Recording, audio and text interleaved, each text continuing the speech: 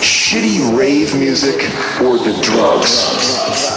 I wonder if it was just these these non-music fuckheads who were, you know, sitting in their house one day and they dicked around on the Macintosh. They go, Listen, listen, listen, listen, listen, listen, listen, listen, listen, listen.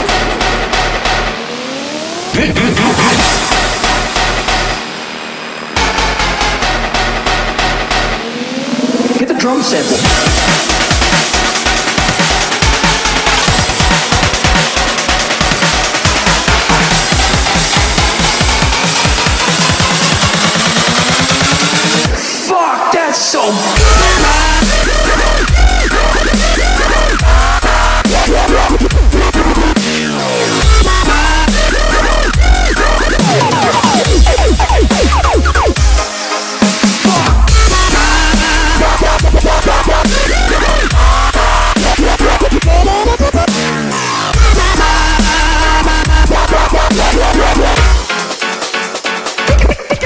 My fucking ass.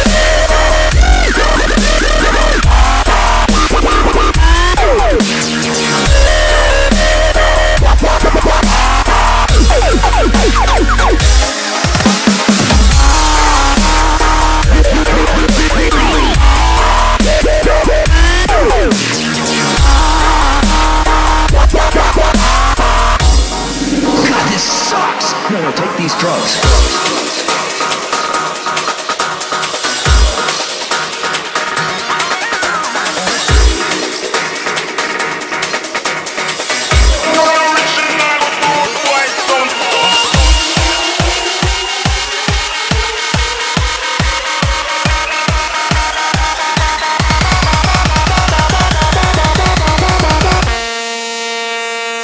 Fuck, that's so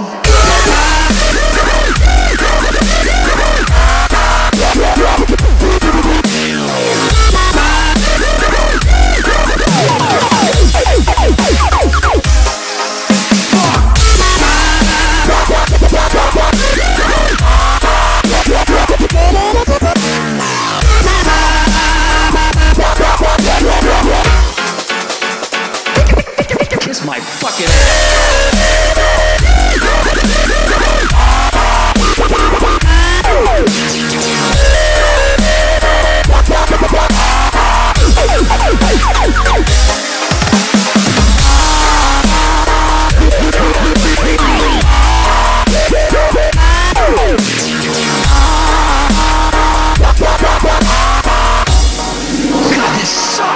going to take these drugs.